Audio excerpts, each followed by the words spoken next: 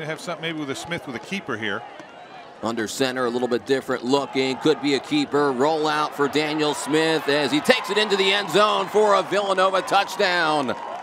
Really nice call by Chris Bowden there. You try to stick it in the belly of the running back, and they're all crunched in the middle. They do a good job. So let's spread them out wide. You have Summers out there as an option in the passing game. I think Smith makes the right choice.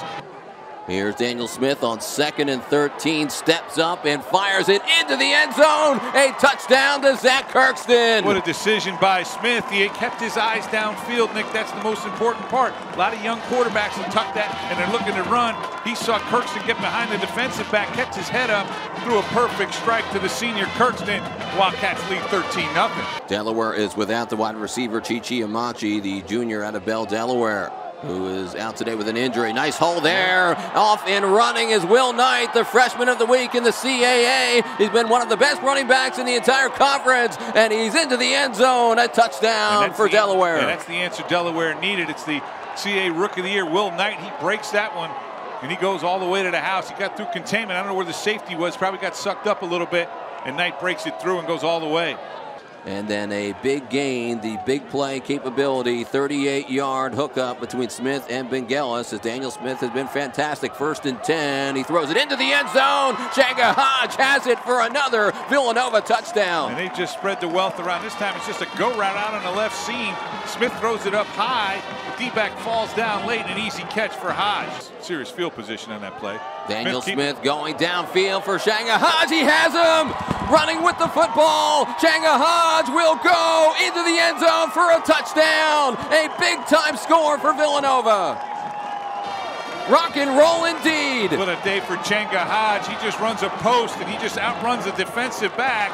And Smith put it right on the numbers, and then Hodge takes it all the way to the house. Wildcats lead it 26-7. And Solomon at fullback, and then Barley as your tailback, Smith under center. A linebacker to block for your running back, possibly in D. Will Barley, who pushes into the end zone for a Villanova touchdown.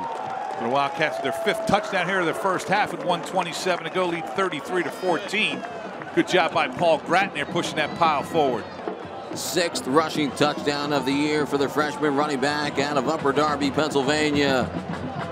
Have the ball on the plus side of the field. Third and 15 for Villanova. Daniel Smith, a play fake. He's going downfield. He's got Shanghai, the home run touchdown for Villanova.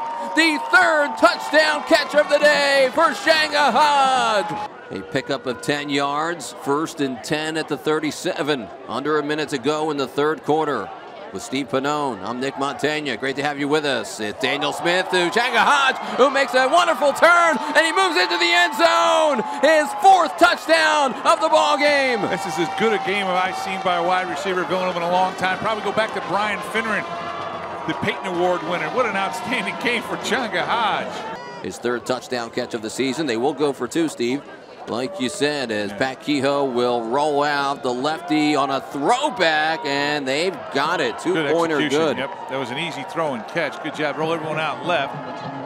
That's Owen Tyler, the West Hartford, Connecticut. He slipped to tight end. Actually, a running back, kind of a fullback. Slip him out to the backfield. He gets a touchdown. That makes it first and goal at the one yard line for Villanova's offense. Jalen Jackson to the end zone. He's in.